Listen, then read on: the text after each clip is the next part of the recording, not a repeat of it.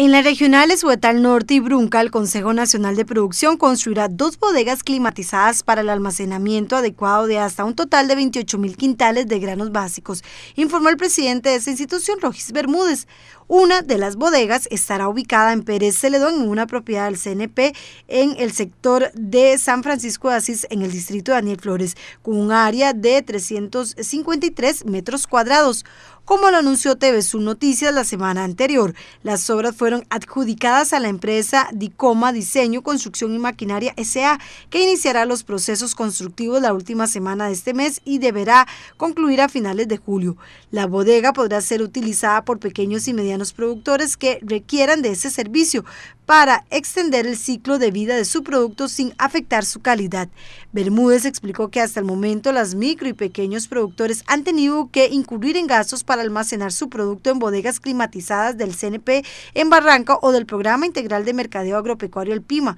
en Barrial de Heredia, lo que implica costos de transporte. Con esta nueva infraestructura ahorrarán recursos y podrán prolongar el ciclo de vida y calidad del grano hasta comercializarlo. Con gran entusiasmo, el Consejo Nacional de Producción ha adjudicado la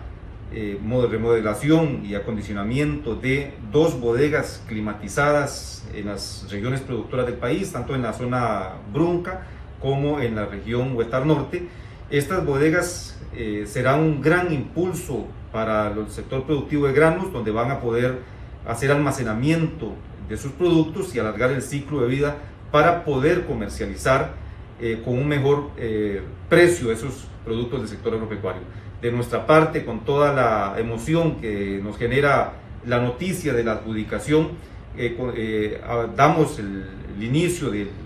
los trabajos que estarán listos posterior al 15 de julio para uso eh, de los productores directamente. Esta es una gran noticia para el sector productivo de las regiones norte y sur eh, que viene a sumar también a los proyectos de infraestructura que viene desarrollando el Consejo Nacional de Producción junto al Ministerio de Agricultura y del Gobierno de la República, donde además trabajamos con los centros de valor agregado de ambas regiones, que son un soporte para el sector agropecuario. Cabe indicar que el proyecto incluye, en el caso de Pérez de León, paredes de termopanel, puertas corredizas para cuartos fríos, aislantes térmicos y forro interno de paredes, además de cielo raso y aislante térmico para techos y el sistema de refrigeración.